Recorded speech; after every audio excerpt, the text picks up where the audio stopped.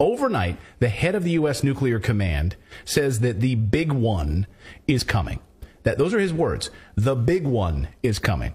Uh, actual nuclear attacks are coming.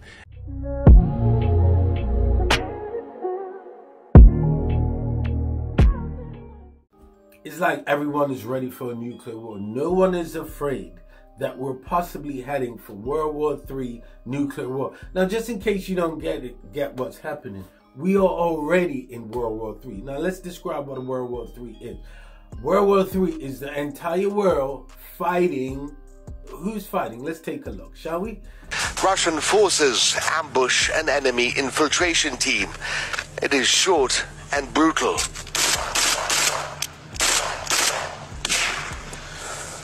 Все, этот готов. Еще двоих ловим. Магазины, магазины смотри. More than you got. You. In all, eight enemy fighters were killed. Not one of them was confirmed to be Ukrainian. Passports were recovered from the bodies of four Poles and a Frenchman. Three other corpses couldn't be reached. So the entire West, right? So that's half the world, is fighting Russia.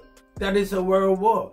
Now you're going to say, well, how are they fighting? They're not fighting, it's only Ukraine fighting. No, no, no, no. Let's not pretend to be dumb, all right? Ukraine cannot beat Russia. Ukraine would have already been wiped off the friggin' map if it wasn't for intelligence from America, Britain. They're sending mercenaries, they're sending trainers, they're sending teachers, they're sending weapons, they're sending money, they're sending satellites. Look, every kind of possible help Ukraine is uh, could get, they're getting from the West. So it's the West that there's Western people that's being captured. There's American, there's British, there's all sorts of people being killed over in Ukraine that have been bombed by Russians. The world is in Ukraine. They may not say it, but that's why it's called a proxy war. They are in Ukraine. They're in Ukraine fighting Russia. They're trying to destroy Russia. Russia, Putin, if you listen to Putin, he's calm. Everything he says makes sense. There's no lies in this man. He tells you straight, listen,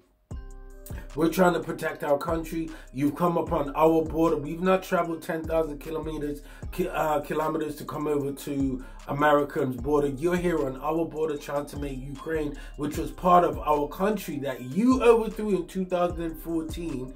Yeah, you're trying to now turn them further against us, and we have to defend that.